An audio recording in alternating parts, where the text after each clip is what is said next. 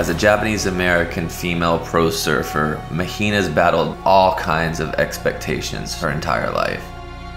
Some of these are specific, but many of them are also universal. I wanted to create a film that spoke to those struggles that we all face in some ways. Being an outsider and wanting to pursue something that's outside the norm. When the incredible team at Black Ops brought this project to us, I was immediately drawn to Mahina's story. She's somebody who has pushed herself beyond every limit set in front of her and found her own inner beauty. I wanted to visually portray both her struggles and her triumphs and how she's written her own rules. The wave represents both Mahina's freedom and her fears.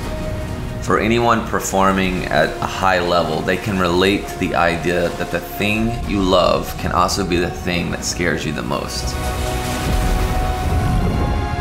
This is also what made her different.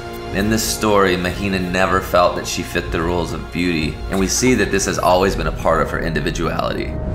Regardless of what people expected of her, she was going to chase this dream and embrace her own rules for beauty. I knew from the beginning that this was not your typical CG piece. It was always made to feel like it could be a feature film. Our goal when looking at this was that it would feel timeless, that it's from a different place. And that began with making sure it felt true to Japanese culture. We wanted to be very mindful of traditions, which as an American meant asking a lot of questions. I wanted the animation to feel both traditional and beautifully imperfect, not perfectly crafted in every frame. I didn't want to distract from the naturalism of those opportunities, but instead have something that felt tactile and human. The style feels like it matches the message of the video in that way. We shot in Tahiti, and our goal was to really capture Mahina in her element. The optimal way as far as time is him on the ski. When you see her on the water, she's this force. But when you see her on the board with this monstrous wave as a director, I mean, I'm literally concerned for her. The massive force of the wave took my breath away but then she rides it and it's just stunning to see her in total control.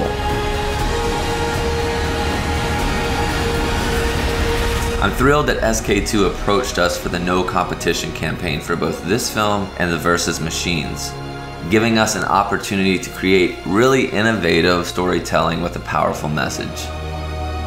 These films are the kind of work I love to make and I'm incredibly proud of the results. Most of all, I'm proud that we can put this out into the world and say, this is authentic. We tried our best to respect and honor the traditions and the culture of Japan and tell Mahina's story in a beautiful way.